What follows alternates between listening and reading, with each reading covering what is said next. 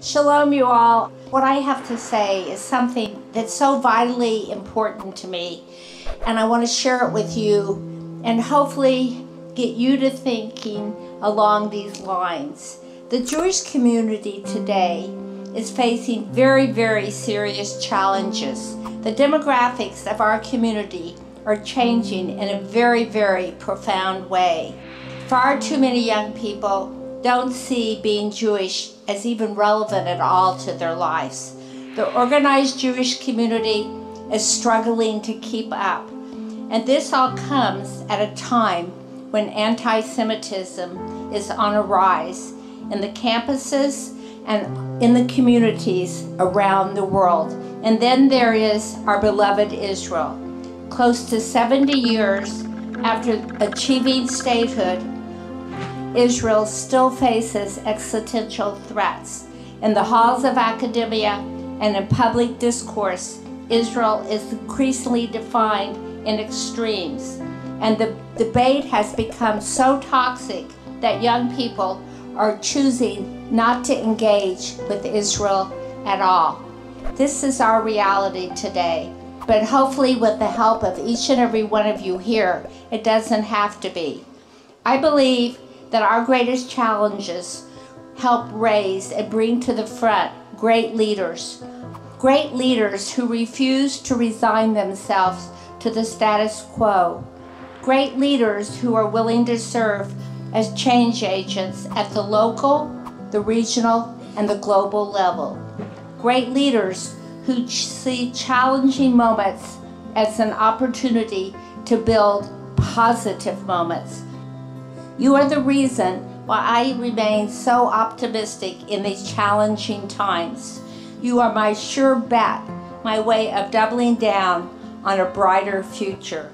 I brought you here to give you the chance to think about how you will be part of the solution, how you will be the answer when years from now your friends, your family, and your children ask, What skills and strength did you contribute to this collective movement?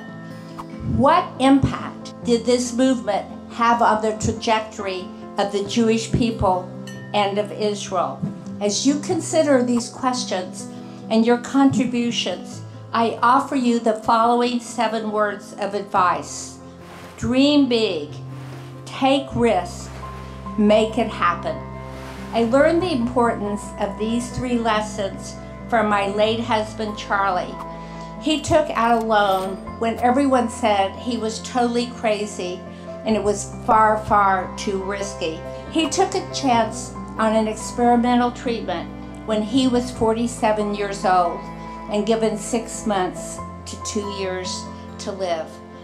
He defied both these odds, building one of the largest held privately oil and gas companies in the world and beating those odds, he lived another 18 years. All of us are here today because of Charlie's strength, his courage, and his audacity. So tell me, do you all have that audacity to dream big? What risk will you take to help make these ideas happen? Who are the people who will help you along the way and who you can help in return. I want to close by welcoming you into the Schusterman Network and into this global movement. It is a movement defined not by what divides us, but what we stand for. Progress through innovation, big ideas, bold action, and most importantly, hard work.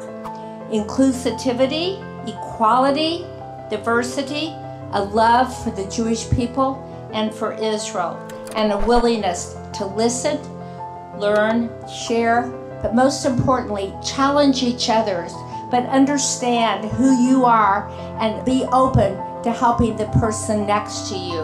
I love you, I believe in you, and I believe that you can change the world, but you really must learn to work together because, as Golda Meir said, I never did it alone. So, with that, shalom, you all, and I'm counting on each and every one of you to pay it forward to make it a better world. Thank you.